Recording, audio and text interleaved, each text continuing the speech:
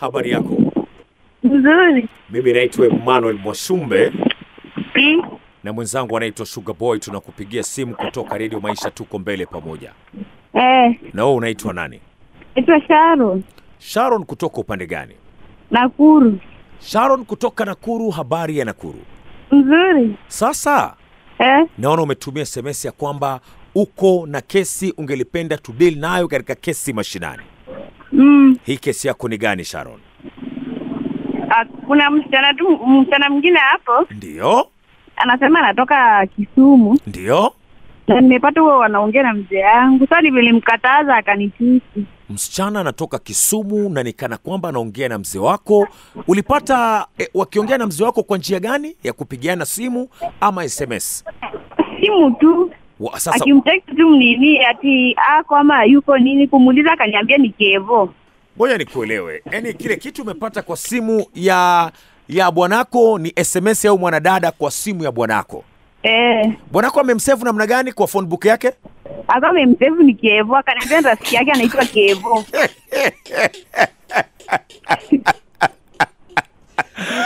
Bwanako amemsevu amemsevu udemu kama Kevo, Eh, amemsave Kevo. na ukimuuliza SMS SMS Kevo vo ilikuwa imeingia inasemaje? ati ako karibu ama bali. mbali. so ukimuuliza bwanako anakuambia kwamba huyu ni Kevo, Eh, ati ni Kevo ni rafiki yake. rafiki yake ama kazini yake. Anaambia ati ni rafiki yake Kevo na anatoka LD. Mm. lakini ukimwongelesha ukimwongelesha Kevo ni sauti ya kike. Eh, Labda ni wale wanaume, kuna wanaume uzaliwa wakawa kuna sauti za kike. hapana ni msichana, ni msichana. Uko shua kabisa ni msichana, ni msichana. Eh, anaitwa Stacy. Stacy sasa alikutukana kwa kukwambia nini? Ati ati kama aliniambia ati kama namfuata juu ya mwanaume, Ehe. ati labda ati, ati, ati si wangu peke yangu. Ati labda ni, ni kreti wangu. So tulia hapo hapo, usikate simu, ngojea usikie movie. Anaitwa Stacy na bwanako anaitwa nani? Anaitwa Fredrick. Anaitwa Fredrick kutoka Nakuru. Eh, Ngoja tumpigie hostesi. Ukitaka ako peke yako mbwa chonga mwenyewe mti ama kata mgomba uficha, wanakuambia hivyo kule kwetu. Mm, Mm, tuna banana mjini Kevo, mpango wako umemsevuaje Mwashumbe?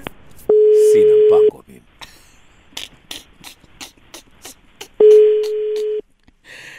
Lete phone, lete simu niangalie phone book. Shika simu Kevo. Kevo ana nini Kevo huyu? Ah, Kevo simu. Shiki simu. Unajua Kevo na huo wako busy au makevo? Kumwatia movie ile hajaiona Makevo na mabrayo. Kumwatia movie ile hajaiona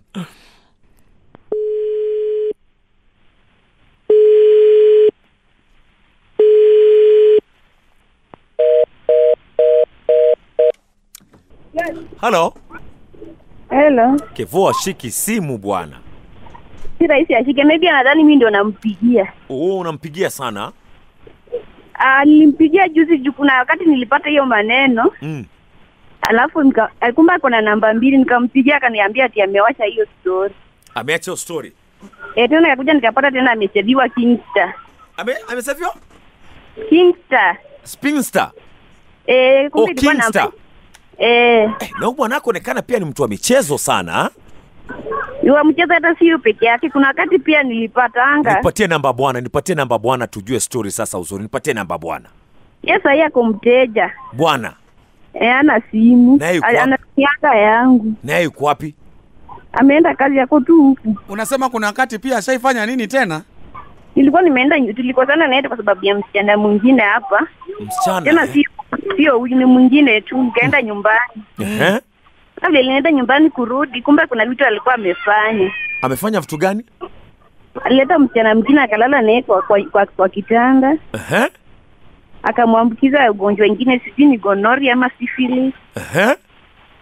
akaenda akatibu. Sasa akaficha hiyo ikakuwa tu sile ndugu yake ndiye alikuwa anajua. Sasa ndugu yake ndo alikwambia? Eh, sasa kati walikosana na ndugu yake ndugu yake ndo bibi ya ndugu yake akaniambia hiyo maneno akwambia kwamba kuna wakati pia alikuwa ameshikwa na gonoria E, nilikuja kama ana, anameza madawa akaniambia ni tumbo na sasa mm. E, bwanako umesema anaitwa nani fredi E. E, noma. Okay, shikilia hapo hapo, tumtafute tena. Hello.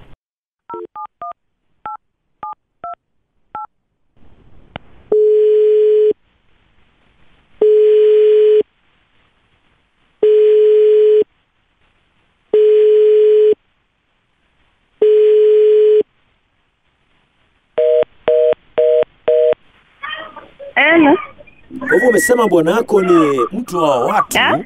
bwana wako ni mtu wa watu wengi wengi sana. Ni wa hiyo tu tabia. Sasa na ngoja nikuulize aje, unajua kwamba wewe unaishi na ngulusumu ambao tabia zake ni wanawake hapa na pale, na umesikia mpaka umepigiwa stori mpaka kuna wakati alishikwa na gonoria. Mm. Sasa unajua kitu unangojea ni nini? Wewe unajua kienda fanya nikienda home wananirudisha. Ehe. -huh. sasa nimelelewa na stepmother. Sasa nikienda huko ananirudisha tu. So kile kitu utafanya right now eh? Mm. Ushaikalisha chini bwanako ukamwambia mazee, hii story mazee ni hatari. Mshai kuongea maneno kama familia. E, nilimwambianga na akasema ati niende nyumbani alafu wamwite wamsome. Hey, na ni mjeuri aje huyu bwanako pia eh? Na Sijui ako tu hivyo. Mko na mtoto Eh, tuko na mtoto mmoja. how old? Ako four years. Sasa nataka leo akikuja Mm. umkalishe chini umwambie hivi, Eh. baba, kama hautaacha hii story yako Mm. mimi nitaenda, na kama sitaenda Eh. kuanzia leo Mm.